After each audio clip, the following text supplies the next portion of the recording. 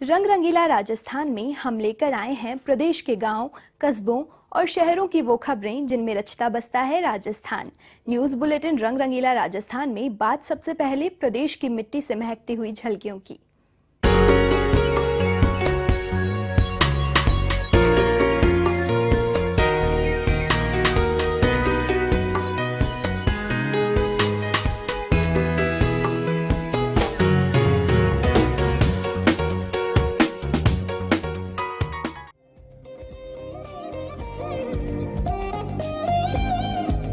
जयपुर में पंडित हरिप्रसाद चौरसिया ने प्रस्तुति दी। सेंट्रल पार्क के आँगन में बांसुरी वादक पंडित हरिप्रसाद चौरसिया ने कहा, सुंदर वातावरण है अच्छा लग रहा है।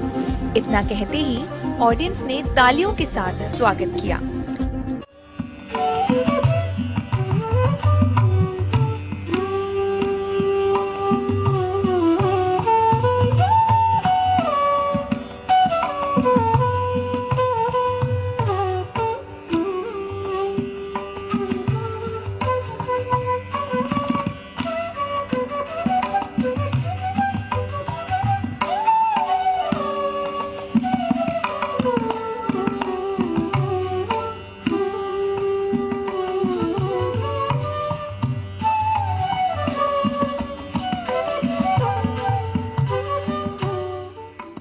इसी के साथ उन्होंने राग यमन की शुरुआत की। ये मौका था राजस्थान स्थापना दिवस के अवसर पर पंडित हरिप्रसाद चौरसिया के बांसुरी वादन का।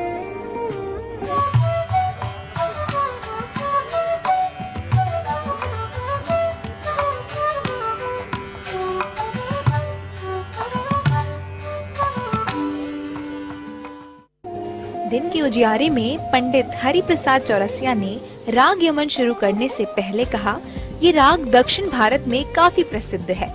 इसे कल्याणी भी कहते हैं। ये राग कल्याण थाट का हिस्सा है। इस राग को शाम के पहले पहर में गाया बजाया जाता है और शुरुआत उन्होंने आलाप से किया, जिसमें उन्होंने दो रचनाएँ सुनाई, पहले रूपक ताल और तीन ताल सुनाए। जिसे सुनकर सेंट्रल पार्क में बैठी ऑडियंस ने तालियों की गड़गड़ाहट के साथ उनका अभिनंदन किया।